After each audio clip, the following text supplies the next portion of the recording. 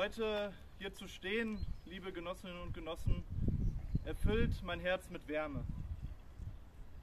Das Wetter wird langsam wieder besser. Die Vögel zwitschern. Wir befinden uns nun endlich in der Endphase einer Pandemie, die viel zu lange an uns allen gezehrt hat. Und auch wir kriechen jetzt so langsam wieder aus unseren Löchern.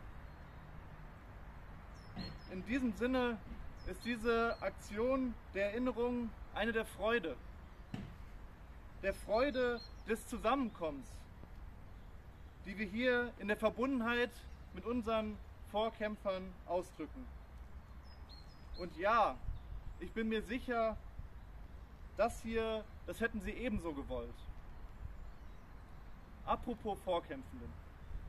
Wer waren diese Genossinnen überhaupt? Kann mir einer von euch aus der Hüfte einen Namen aus der anarchistischen Bewegung vor dem Zweiten Weltkrieg nennen und du darfst nicht?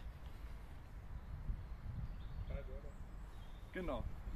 Das ist auch der Name, über den ich euch heute berichten möchte, denn unsere Geschichte wird doch erst wirklich erlebbar, wird doch erst wirklich erfahrbar, wenn wir die Einzelnen, die hinter unserer Geschichte stehen, kennen. Und in dem Sinne möchte ich euch auch kurz mitnehmen zu dem Genossen Karl Börder.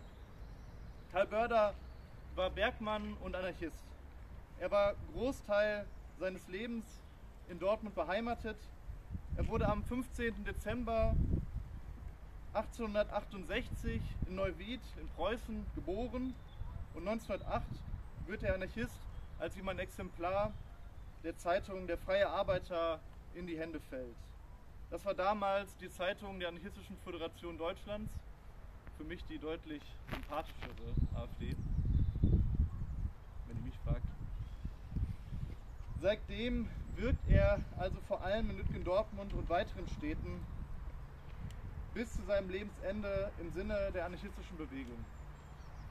Bis zum Ersten Weltkrieg tut er dies vor allem innerhalb von gewerkschaftlicher Organisierung. Danach entwickelte er sich eher zu einem organisationskritischen Geist, ohne sich aber je von dem organisierten Anarchismus gänzlich zu verabschieden. Börder ist jemand, der beim Streik der Bergarbeiter in der ersten Reihe steht und noch die Lore im Schacht umkippt, um den Streikbemühungen Nachdruck zu verleihen. Bis hin zum Verdacht auf ein Sprengstoffvergehen, für das er auch einige Monate einsitzen muss. Vor allem aber hält er Reden, organisiert Veranstaltungsreihen, schreibt Artikel, wobei man hier dazu sagen muss, er hat so ein bisschen so geschrieben, wie er gesprochen hat. Er musste mal drei, vier Mal drüber geguckt und äh, redigiert werden, damit man das überhaupt veröffentlichen konnte. Und ja, er organisiert viele Treffen und führt in diversen Gruppen und Versammlungen wichtige Rollen aus. Betreibt anarchistische Propaganda, wo er geht und steht. Natürlich wirkt er auch im Kontext der Märzrevolution. Börder spielt hier eine wichtige Rolle. Laut einer Auflistung des Spitzebüros Kölpin war der Reichswehr, die die Reichswehr zuarbeitete, unterhält Karl Börder während des Ruhestands im März 1920 ein Werbebüro für die Rote Armee in seiner Wohnung in der Borussiastraße 72 in Clay. Auch unter bekannt gewordene Kampfleiter und Abschnittskommandeure wird Börder als Abschnittskommandant aufgeführt. Er durchlebt und überlebt den Ersten und den Zweiten Weltkrieg.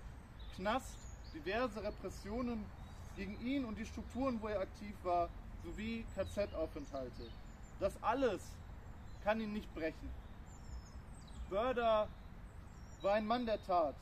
Jemand, von dem man heute sicherlich sagen würde, dass er ein sogenanntes Ruhrpott-Original sei. Einem, dem das Herzen auf der Zunge lag. Aber er war sicher auch kein unbeschriebenes Blatt. Er war auch jemand, der durchaus mal Streit angezettelt hat und zeitweise offen gegen die organisierten Formen des Anarchismus wetterte. Das und vieles mehr macht ihn allerdings auch interessant. Er ist eben nicht der idealtypische Revolutionär, welchen wir blind romantisieren können. Karl Börder ist wie du und ich, ein Genosse, auf den man sich im Kampf verlassen konnte, der bereit war, unendliche Entbehrungen für die Befreiung auf sich zu nehmen. Zum Abschluss möchte ich euch noch über sein Lebensende berichten.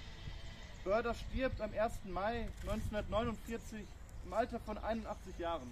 Ich finde ein allzu passendes Datum. Nach 45 war er einer der wenigen anarchistischen Genossen, die versucht haben, den Anarchismus in Deutschland wieder aufzurichten. So war sein letztes Werk der Aufbau einer anarchistischen Jugendgruppe in Dortmund-Dorsfeld. Wie mag das wohl ausgesehen haben? Eine Jugendgruppe mit dem 80-jährigen Börder als gestandenen Kämpfer an ihrer Seite.